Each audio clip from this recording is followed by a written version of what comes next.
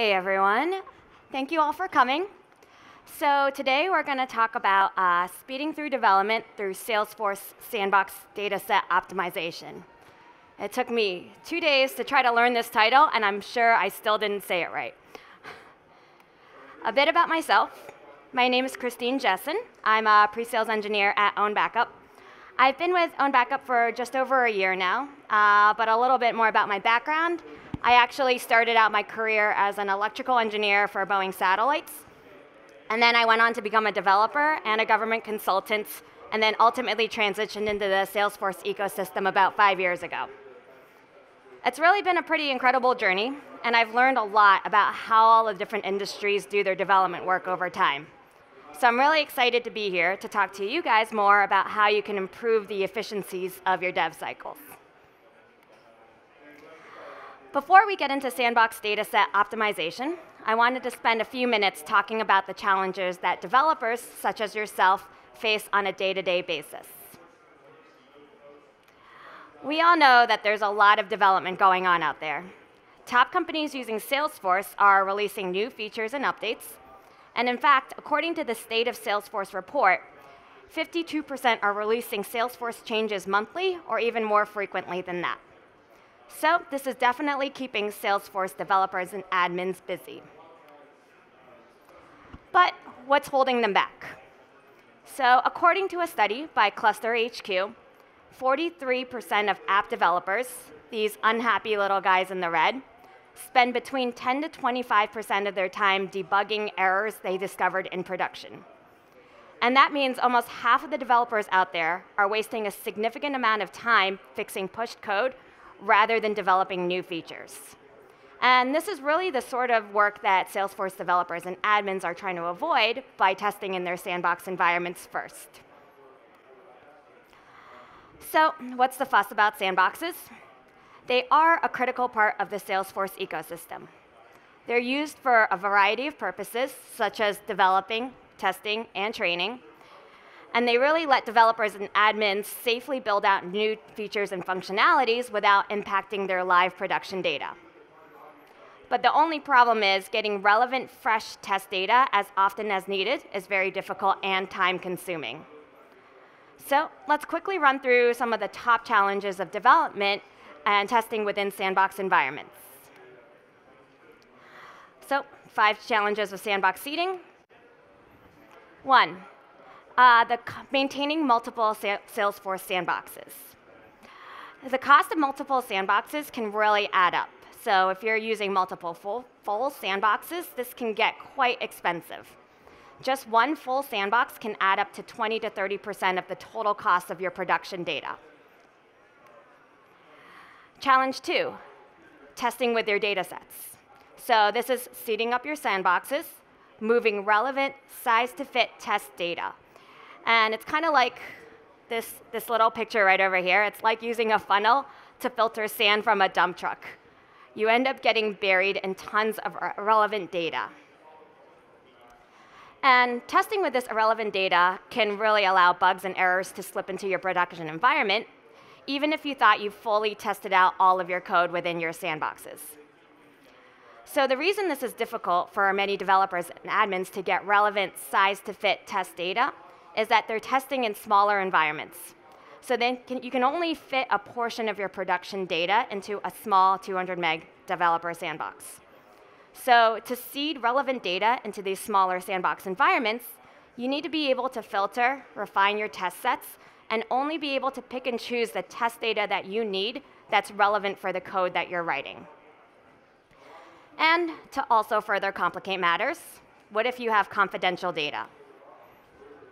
So providing unauthorized access to personal confidential information can be a huge liability for your company. It can happen easily when you're testing with real data. So really something to consider. Are you currently anonymizing your test data before you send it over to your sandboxes? Because if you're not, it's something that you should be considering. Moving on, development cycles.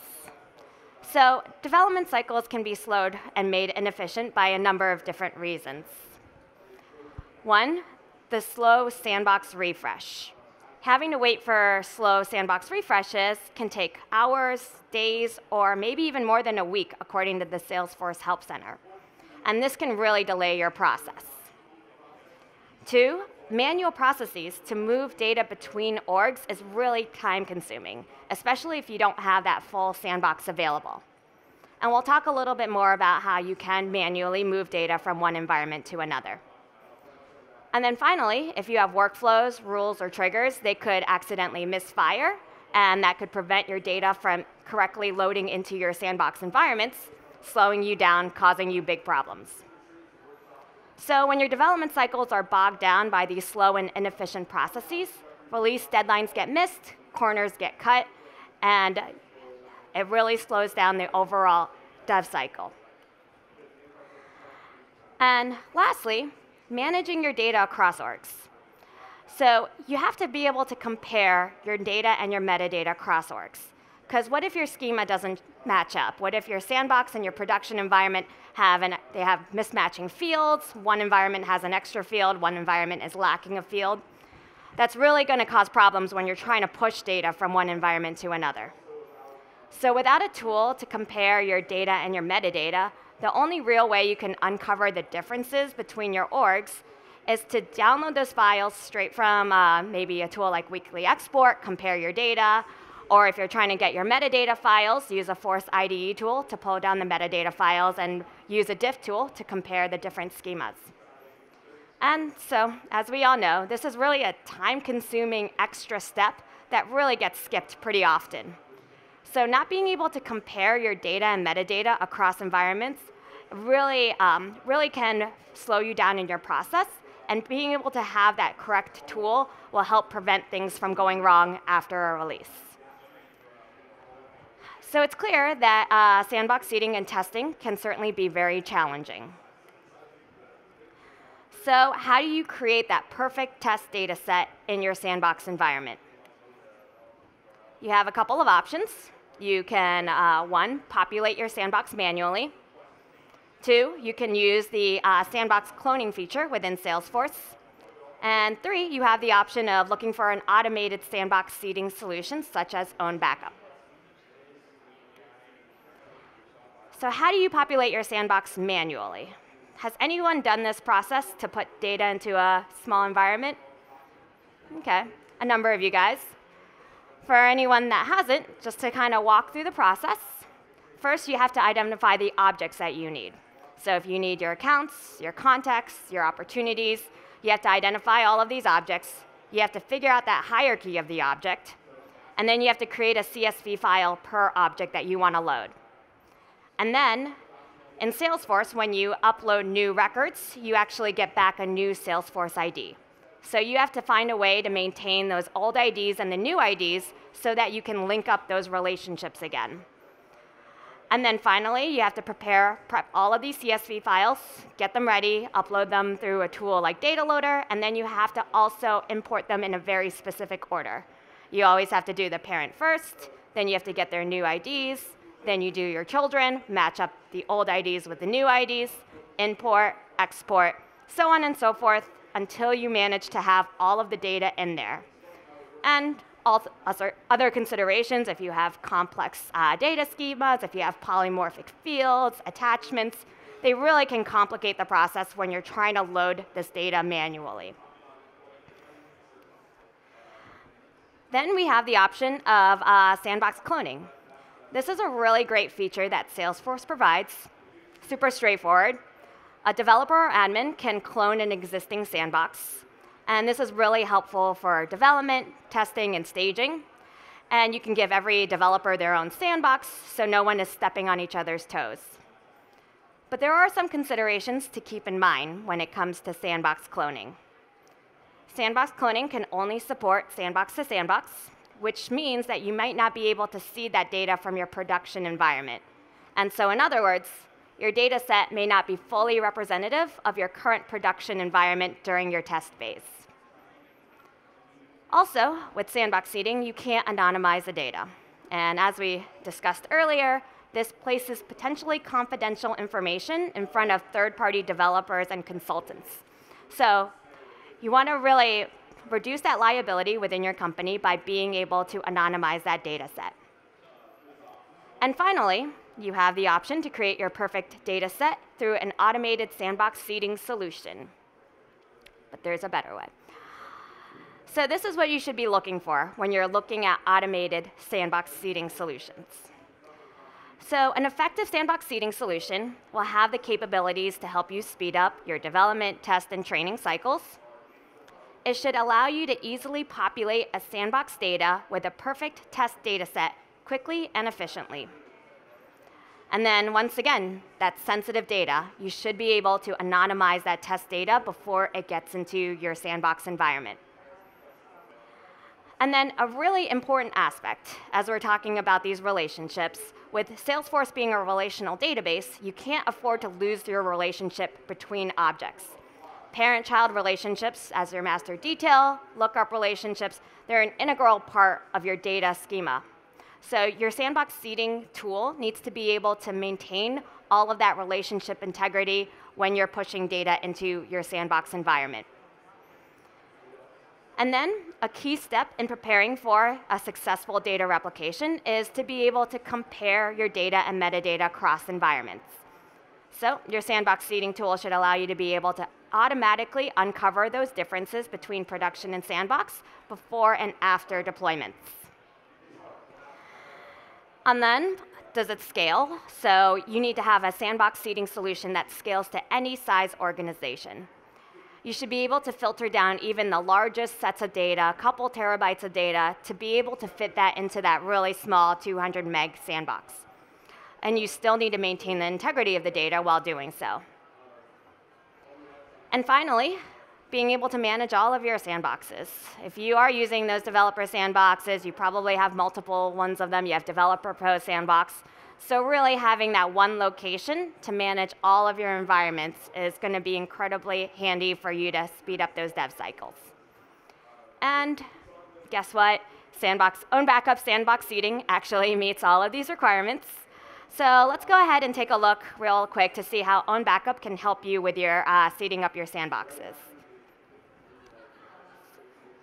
Let me hold over. So this is my uh, own back one sec. This is my own backup environment.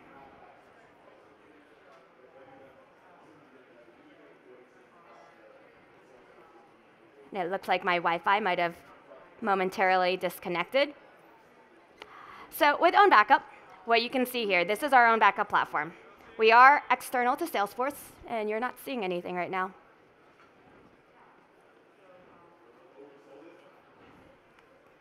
Can you uh, it's because I stopped playing a presenter.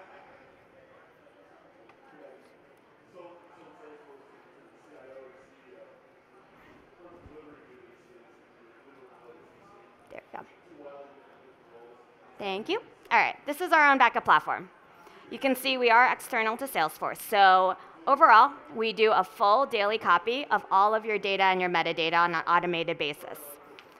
So one thing to note is you can see here on my one own backup portal, I'm able to manage all of my environments. So I can have my production environment and all of my sandboxes directly managed from here.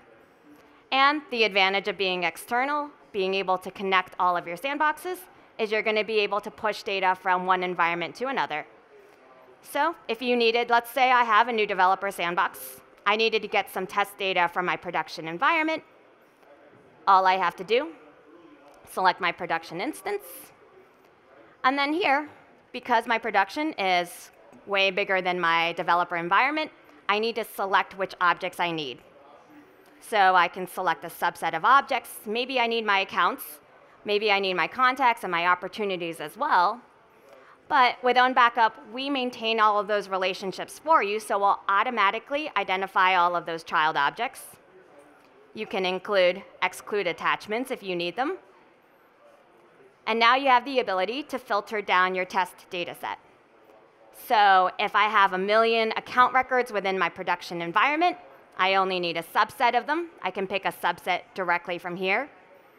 Or maybe I need a very specific test data set. Maybe I'm testing on a very specific record type. I can put a where clause in here to identify exactly which records I need. And then we'll select our snapshot to replicate from, where we want to replicate to, so I can select any of my developer sandboxes. And if you recall earlier, one thing I mentioned is the misfiring of your validation rules, workflows, and triggers. So with own backup, we can automatically disable all of these. After the replication is complete, they'll all get re-enabled. And then once you queue up the preview, it'll go look at your data schema. It'll look, identify all of your records. You'll see here that I'm about to replicate about 10 megs worth of data within my de developer environment. So now I know that this is going to fit no problem. But here I can really see all of those child relationships, all of that hierarchy.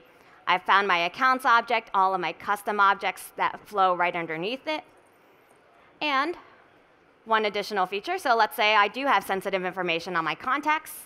I don't want my uh, data to get replicated on my actual contacts. So I can go ahead and anonymize that test data directly from own backup. And then once I'm all done, I can start this replication into my developer sandbox. So uh, this is the replication tool with Own Backup. We are downstairs if you guys want to stop by and talk a little bit more about Own Backup's features and functionalities. But uh, I think with a few more minutes left, four minutes left, just wanted to open it up to see if there's any questions.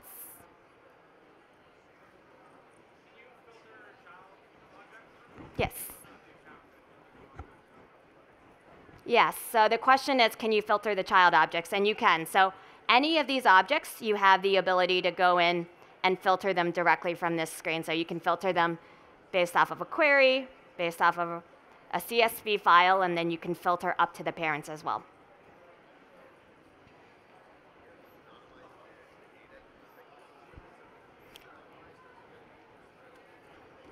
Good question. So the question was, um, when you're anonymizing the data, can you pick and choose which fields to anonymize? So with our tool, uh, you can see it is just a checkbox. So that makes it really easy to anonymize, but we automatically detect the field types. So that's your name, phone number, email, addresses, any type of encrypted masked fields, automatically identify it, and then anonymize it. But you do have the option with that CSV file, you could uh, change out anything within that CSV file, remove out any sensitive information, and then upload that as well.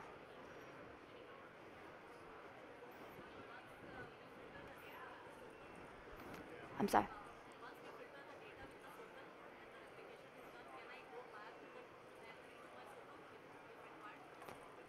Is a question, you want to rerun the job after you've pushed the data set?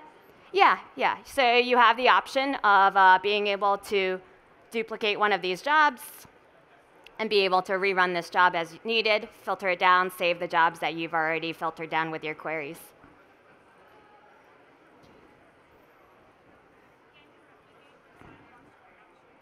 Yes, you can. So our tool supports production to sandbox, sandbox to sandbox, and sandbox to production. So the only other one I didn't name there is production to production, and that's because you really need to make sure that all of that schema is the same, but you could go that direction, sandbox to production. Mm -hmm.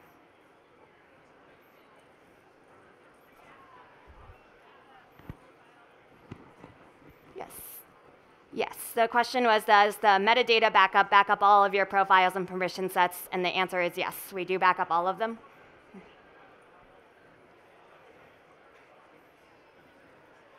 Okay. If there's nothing else, thank you guys for coming.